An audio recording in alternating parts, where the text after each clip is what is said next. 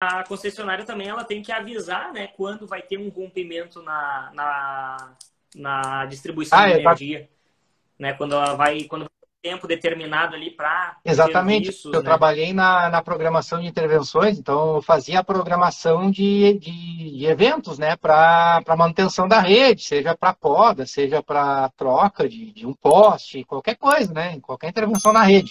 E voltando Sim. ao nosso tema central, que é ressarcimento de danos, não importa se ela te avisou, se o desligamento era programado ou não, queimou teu equipamento, né, por Não quer não quer dizer, porque Quer dizer- só o fato dela abrir e fechar o fusível ali do teu transformador, por exemplo, né, que te atende, já pode danificar algum equipamento, né? Então, independe se ela te avisou ou Tá não. pedindo um passo a passo de quando acontece, o que, que o cara deve fazer, qual que é o processo.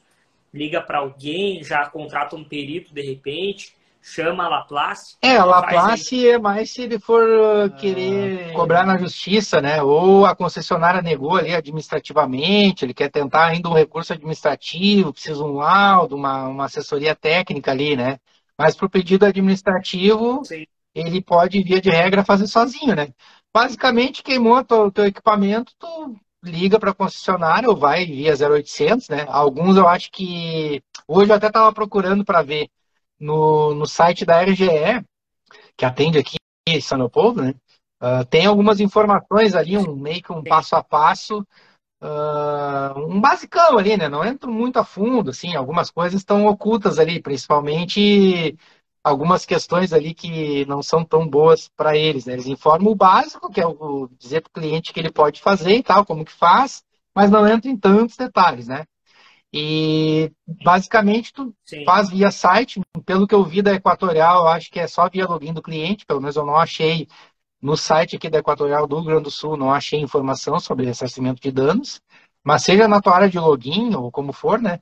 Faz via site ou indo na agência ou telefonando 0800, informa os, os- as características do equipamento, os dados de placa, enfim, né? Número de série, esse tipo de coisa, né? Marca, modelo e a data e a hora aproximada do evento, né? Ah, foi hoje às 5 da tarde que ah, tava chovendo aqui em São Leopoldo, sei lá, tava dando temporal.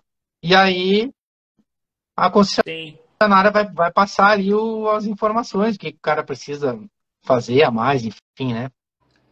E se você gostou desse vídeo, não deixe de se inscrever no nosso canal, ativando o sininho para receber as notificações para os próximos vídeos. Curta, comente, compartilhe, nos siga nas redes sociais, arroba Laplace Consultoria.